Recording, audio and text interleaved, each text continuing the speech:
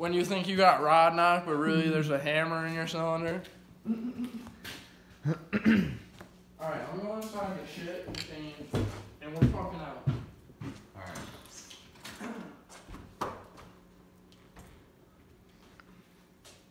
Take my screwdriver back. Yeah. Your snap-on screwdriver. No, this is uh Take it. Crash. Stanley. Take the hammer. Yeah, he's gonna, don't mind. Hey, he's gonna see this when he watches the video. Yes. I'll show him today.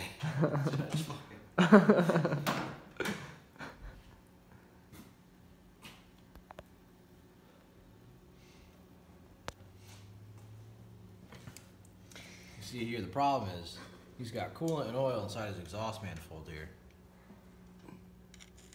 Why is it not supposed to be like that? No, you're, you're, this is your entire exhaust manifold.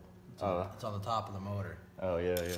And uh, these turbines here, they spin and they push the exhaust out of the motor. and they're driven by the timing chain. Yeah, pretty much. Yeah. And then your camshaft is in the bottom of the motor, and that's what all the pistons and everything are connected to. Yeah, yeah, right. This is the crank or up here, the crank. Well, no, no, th- this is the exhaust manifold. That's the These, exhaust. these are the turbines. These are the turbos, yeah. no, no, turbines. Oh, turbines. Yeah, those are the turbines that move the exhaust gases out of the motor. Where's the turbine? Yeah, where is it? Oh, it's in the box. That's in the box. Yeah.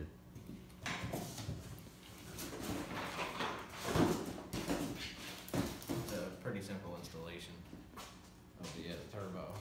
You just put it right there. We gotta take the rag out of it. You just take your valve cover and you just self tap that right to the valve cover, and you put attach this. You gotta take the rag out of the turbo. No, no, you leave the rag. Oh, you leave it in? Yeah, no, that it causes uh, air restriction. It makes more boost. what you're supposed to do with these holes, put lit cigarettes in them, and uh, So we can hold more boost. Yeah, it needs hotter air. That's what makes the boost the hot air.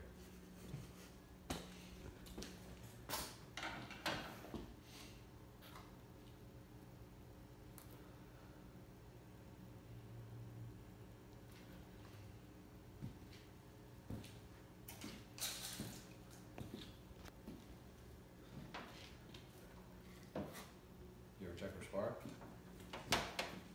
Take this plug here, stick her in there, and you turn the motor over with your test light.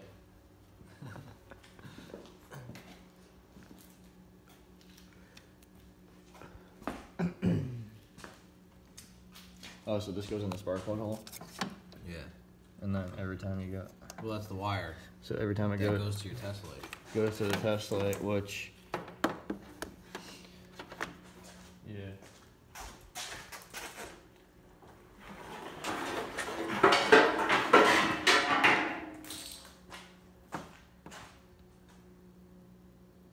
Alright, so here. Put it put it in there. So is that is that in?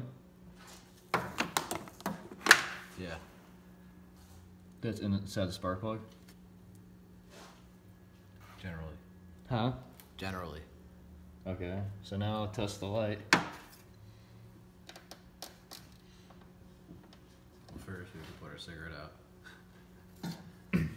out.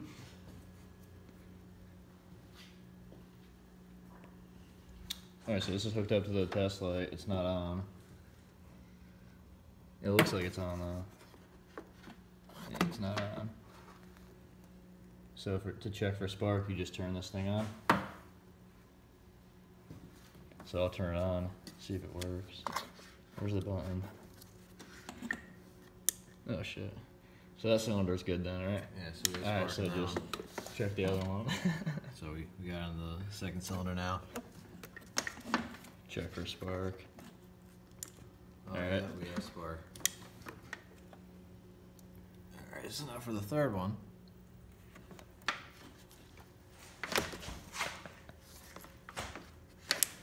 Oh, and also, So check the four cylinder. Is cylinder that four now. cylinder? Yeah. Okay. So. oh. Oh, it's just a dud. Yeah, alright. Yeah, alright. So let's So- check the fifth plug now. Fifth plug? Yeah, so Alright. the fifth plug now. Yep. Oh, yeah, that one's got power.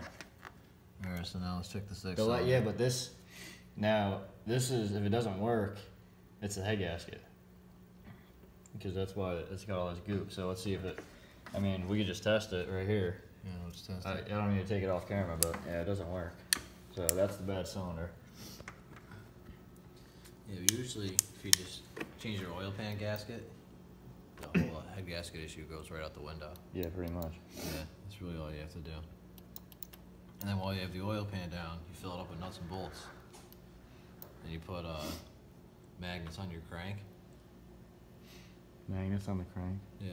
To attract the nuts and bolts, so you have spare nuts and bolts on your Oh, yeah, crank. yeah, yeah, yeah. So yeah. in case any of them ever come loose, you Well, if there's metal shavings in the oil pan, then that means the motor's running good. Oh yeah, that's fine. It's just grinding up the nuts and bolts so that they're uh, malleable enough to get on. yeah. The motor interchanges on, on its own. Yeah, so like, yeah, it's like zinc coating. so what do you recommend for oil? 10W40? No, these things usually run like 90, 110 weight. 90, 110? Yeah, gear oil. That's what you're supposed to put in these. The oil channels in this motor are actually really big. Yeah, so just, yeah. They recommend 530, but you can't you can't do anything like that. With 520 actually. Especially, well, yeah, that's right. Well, if you're running a turbo like this, you need thick oil to lubricate the bearings. Exactly. Yeah. Some nice 90 weight will usually do it justice. Mm-hmm. We have uh, fully loaded interior here. Leather seat. Wait, let me see the leather seat. Yeah. Yeah. right there. It's a, it's a, it's a four speed, right? Yeah, no, this is a it's a Four pure- speed. This is a pure sport race seat, actually. So it's a factory option. The M3 model like this one. Yep. Yeah, the horn doesn't work apparently. Well, we could test it. we don't need I could, no, hold on, we can. does the horn work or not? the hazards work. Does the horn work? How do we test it with the with the flashlight? I don't think we can. Huh? The shifter is removable. Just in It's like your steering wheel. Just in You can uh, unattach your steering wheel and your shift knob. So uh, it's harder for people to steer your car.